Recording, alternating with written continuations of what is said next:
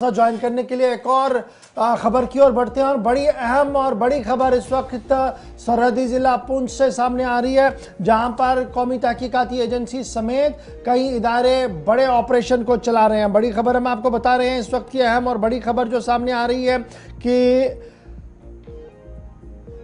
पुंछ इलाके के अंदर बड़े पैमाने पर इस वक्त कौमी तहकीकाती एजेंसी और सिक्योरिटी एजेंसीज ने कॉर्डिनेट सर्च ऑपरेशन चलाया है। गुरसाला धारा इलाका है, जहाँ पर तहकीकाती एजेंसीज की तरफ़ से कार्रवाई शुरू की गई है। रजौरी पुलिस, एनआईए की टीम इस वक्त मुश्तरका तौर पर कार्रवाई कर रही है और माना जा रहा है कि एक मिलिटेंट जिसकी गिरफ्तारी पहले हुई थी, उससे मजीद पूछताछ के दौरान ही कुछ इंकशाफात हुए हैं, जिसके बाद ये आज की कार्रवाई को आगे बढ़ाया गया है। बड़ी खबर इस वक्त आ रही है कि कौमी तहकीकती एजेंसी पुलिस का मुश्तर ऑपरेशन रजौरी के कई इलाकों के अंदर चल रहा है, जिनमें गुरसाई का इलाका भी है, जहाँ पर इब्तदाई खबरों के मुताबिक उस वाक्य की तहकीकात की जा रही है, जो गुजशत दिनों वहाँ पर पेश आया था। जमशीद मलिक हमारे साथ ज्वाइन कर चुके हैं। जमशीद, अपडेट करें, ये जो ऑपरेशन की खबर इस वक्त सामने आ रही है रजौरी इलाके के अंदर, किस इलाके से ये खबर है? क्या कुछ डिटेल्स आपके पास?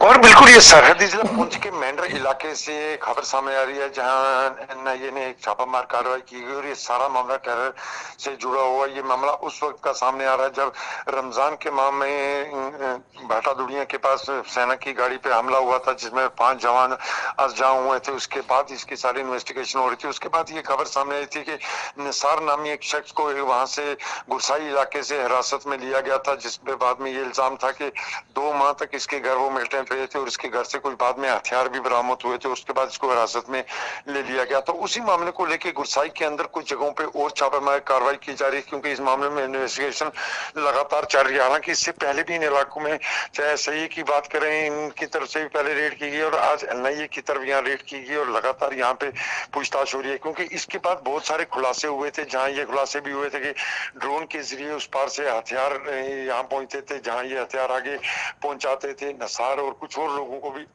हिरासत में लिया गया था और उसके बाद ये लगातार यहाँ पे कार्रवाई देखने को मिली और उसी मामले को लेके जो मैं रमज़ान में पेश आया था, उसकी लेके एनआईए की रेड चल रही है जगोहर अच्छा ये बड़ा इम्पोर्टेंट है कि अभी वो शख्स निसार नामी नौजवान जो है वो गिरफ़्तार है।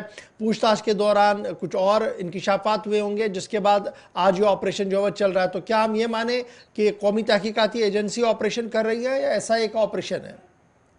और अभी तक जो सामने खबर आ रही है, वो कौमी तहकीकती एजेंसी की खबर सामने आ रही है कि उनकी तरफ़ से, जिस तरह मैंने बताया कि चंद रोज पहले भी यहाँ इस इलाके में एस आई ए की तरफ़ से भी एक रेड की गई थी। मगर इसमें आज जो खबर सामने आ रही है कि एस एन आई ए की ये रेड है और उसको देखते हुए इस पूरे इलाके में सुबह तकरीबन पाँच बजे के आसपास से ये रेड शुरू की गई थी। क्योंकि मैंने जरा बताया कि इसमें कई लोग, उसके बाद, निसार के बाद कुछ और लोगों को भी इस केस में हिरासत में लिया गया था, जिन पर ये इल्ज़ाम थे कि इनके, इन लोगों ने ड्रोन से ज़रिए हथियार यहाँ पहुँचाए उसके बाद आगे पहुँचाया उसके बाद दो माह तक वो मिलिटेंट इनके घर रहे, जिन्होंने वहाँ पे हमला किया था रमज़ान के महीने में फौज की गाड़ी पर। उसके बाद लगातार इस इलाके में कार्रवाई चल रही है। हालाँकि ये इलाका काफ़ी सुर्खियों में उससे पहले भी रह चुका है लाइन ऑफ़ कंट्रोल के नज़दीक का इलाका है। यहाँ इससे पहले भी इस तरह की कई सारी खबरें सामने आ चुकी है, मगर नसार की गिरफ्तारी के बाद इस पूरे इलाके को लगातार छाना जा रहा है। ज़रूर कुछ ना कुछ ऐसा कोई नया इनपुट ज़रूर है के पास होगा, जिसके बाद एनआईए की टीम यहाँ आज पहुँची हुई है सुबह से, गौहर।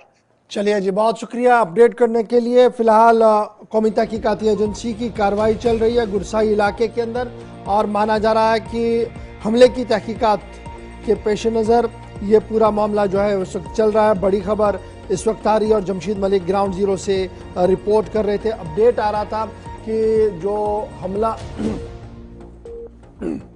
बड़ी खबर कि गुरसाई रजौरी इलाके के अंदर इस वक्त कौमी तहकीकती एजेंसी उस टेरर हमले की तहकीकात को आगे बढ़ा रही है, जिसमें कुछ जवानों को गिरफ्तारी हुई, कुछ नौजवानों की गिरफ्तारी हुई थी। उनके कब्जे कब्जे से कुछ गोला बारूद भी बरामद हुआ था, हथियार बरामद हुआ था। उसी को आगे बढ़ाते हुए ये ऑपरेशन जो है वो चलाया गया है।